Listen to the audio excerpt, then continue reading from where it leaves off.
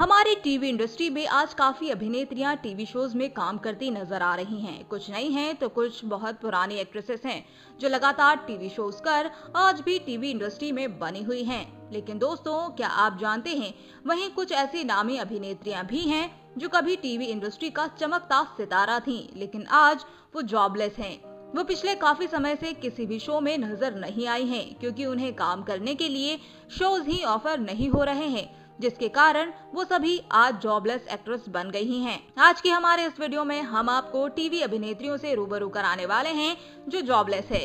तो आइए जानते हैं कौन सी हैं वो अभिनेत्रियाँ। नंबर सेवन सारा खान। विदाई शो से फ़ेमस हुई एक्ट्रेस सारा खान काफ़ी लंबे समय से टीवी पर काम नहीं कर रही हैं। इसके पीछे का कारण बिग बॉस के बाद अली मर्चेंट से इनका डाइवोर्स रहा है, जिसके चलते इनकी पॉपुलैरिटी कम हो गई थी। साथ ही नई एक्ट्रेस के आने के बाद इन्हें काम मिलना भी बंद हो गया था। Number six Shraddha Nigam. TV अभिनेत्री श्रद्धा निगम ने अपने करियर की शुरुआत में काफ़ी सारे हिट सीरियल्स दिए थे, लेकिन जब से इनका तलाक करण सिंह ग्रोवर के साथ हुआ, ये तब से ही टीवी पर नज़र नहीं आ रही हैं, क्योंकि तलाक के बाद इन्होंने टीवी इंडस्ट्री से ब्रेक ले लिया था, लेकिन जब ये ब्रेक लेकर वापस लौटी तो इन्हें काम नहीं मिला, और तब से लेकर अब तक ये जॉबलेस है। नंबर फाइव संजीदा शेख। एक हसीना थी शो में मशहूर हुई अभिनेत्री संजीदा शेख आखिरी बार साल 2017 में लव का है इंतज़ार शो में नज़र आई थी इस शो के बाद से ही इन्हें किसी भी शो में काम नहीं मिला, जिसके चलते आज ये जॉबलेस हैं। Number four Juhi Parmar Kumkum serial से फ़ेमस हुई अभिनेत्री जूही परमार पिछले काफ़ी समय से टीवी पर्दे से दूर हैं।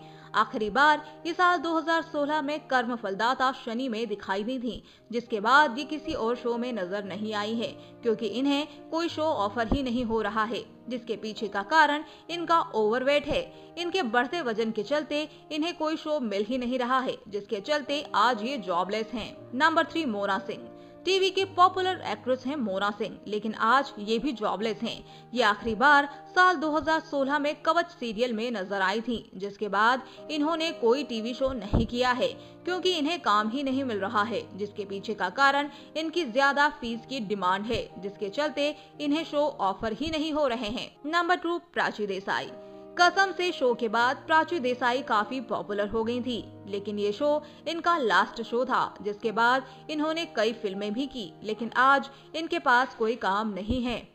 Number one Shilpa Shinde. अंगूरी भाभी के नाम से फ़ेमस हुई अभिनेत्री शिल्पा शिंदे ने बिग बॉस के बाद टीवी का कोई बड़ा प्रोजेक्ट नहीं किया है, क्योंकि ये खुद को टीवी से दूर रखना चाहती थी, लेकिन आज अपने इसी फैसले के चलते ये जॉबलेस हैं।